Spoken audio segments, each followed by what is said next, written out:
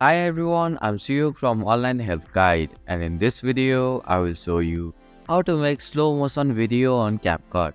Creating slow motion effects adds drama and emphasis to your footage making it more captivating for viewers.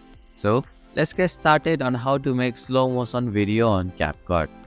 First, open the CapCut app on your mobile device. Tap on the new project option. Now, select the video in which you want to add slow motion effect. Then tap on the add button from the bottom right corner.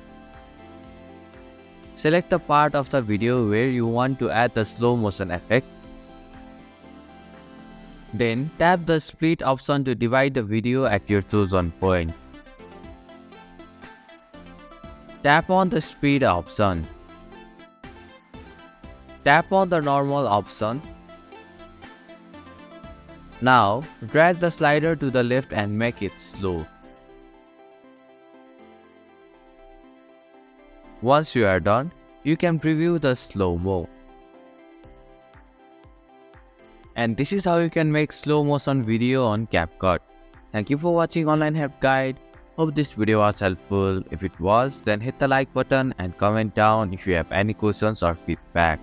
Also, if you are new to our channel, please subscribe and hit the bell icon so that you won't miss our upcoming videos.